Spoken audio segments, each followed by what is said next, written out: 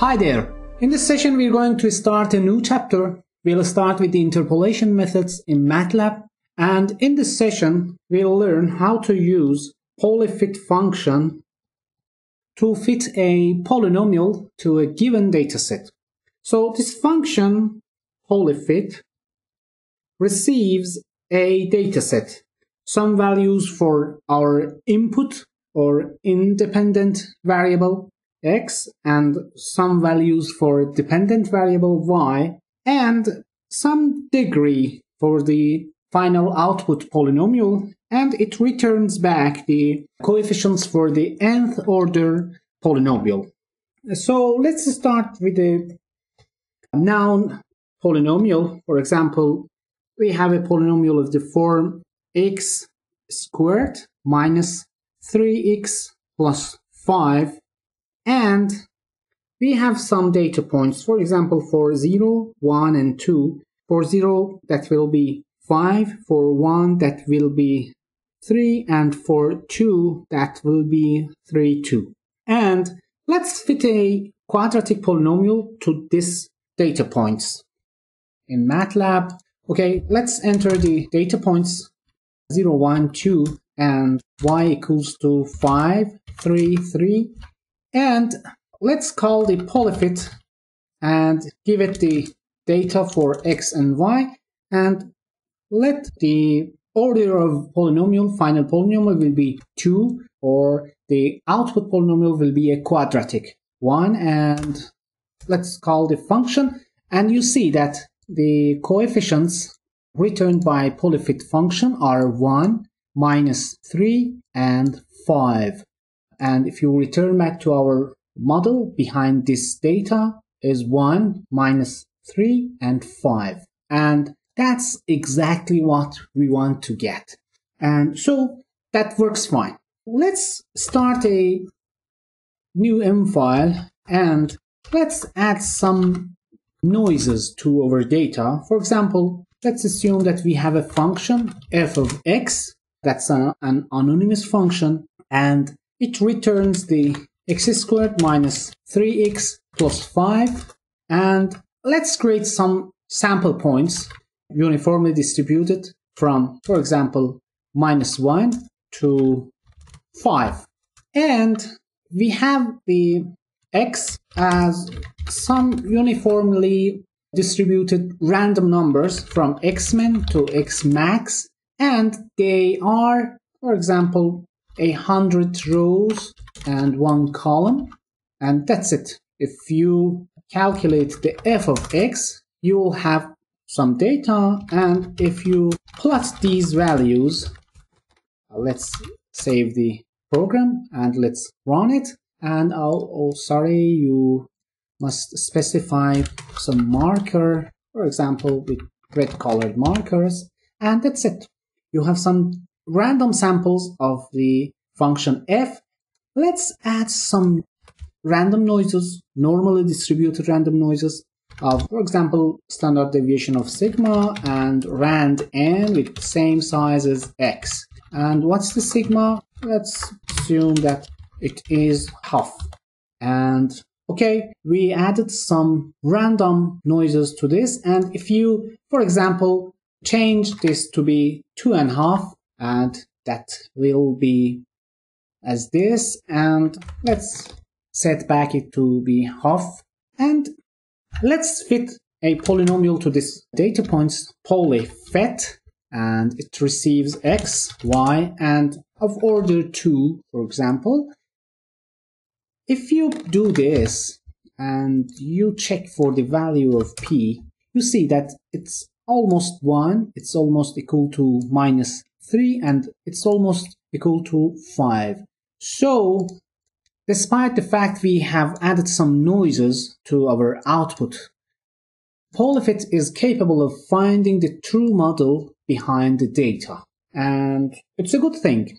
And let's, for example, add the noise level and check for the results again. And we can find almost a polynomial very close to the original model behind the data. Okay, let's plot the polynomial beside the original data points. Okay, let's create some data points which are distributed from xmin to xmax and 100, for example, data points and yy are the this polynomial which are evaluated at these points. So we may use the polyval function, poly evaluation, polynomial evaluation, which receives the p, the coefficients, and the data points, and it will give us the value of that polynomial in that in the provided data points. So let's hold on and let's plot x, x, y, y, and color b and line width 2 for example. You may specify the marker size as 14 here and you can specify the legend for example data points and fitted model or fitted polynomial. And let's show the grid and let's add the x label and add the y label to and let's run the program. I think we have some errors here. X label is not correct. This 14 is much for our example marker size. I think it should be lower. So you see that we fitted a polynomial to our data and if we test for the p it's almost equal to our original model. And if you, for example, provide n equal to 1 as the degree, and if you run the program, you'll get this linear model which describes the quadratic data with least error possible. And if you increase this, for example, 3, that will describe the model but adding some non-needed unnecessary cubic elements. However, the other three terms are almost equal to the quadratic polynomial. So let's go back to the quadratic model. And if we'd like, we can add some error margins to our fitting problem and draw some error margins, some error terms beside our model and data points. The polyfit returns a second output. Let's name it S. And if we run the program, the S will be a structure which contains information about the error of the model. And this structure can be used in polyval. If you see the help for this, can be used here as the third input parameter. And if we pass s to this polyval function, we'll get some delta. Okay, let's pass the s and get some delta. And if you test for this delta, you see that is of same size as x, x, this vector and this vector, and these are error terms. And for example, if you plot this delta, that describes the error amount in every data point we passed to the polynomial.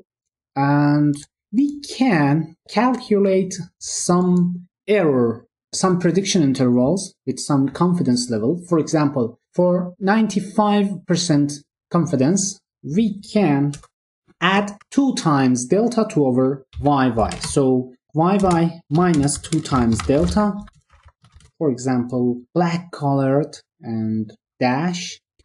And uh, if we plot xx and yy plus 2 delta with same color, and here we can say that 90% prediction interval.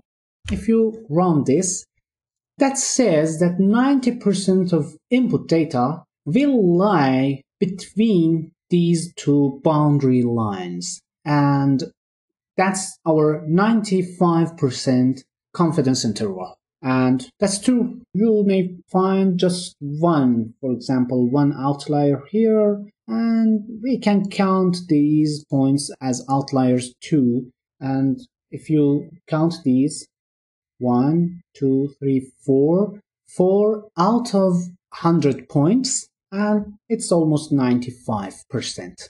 And so you can provide some error information outputted from polyfit function to polyval and calculate the delta here. If you use other multipliers, for example 1 or 3, you can plot some sense of 2 sigma or 6 sigma of our error terms here. So we've done and we used polyfit to fit some polynomial to some given noisy data.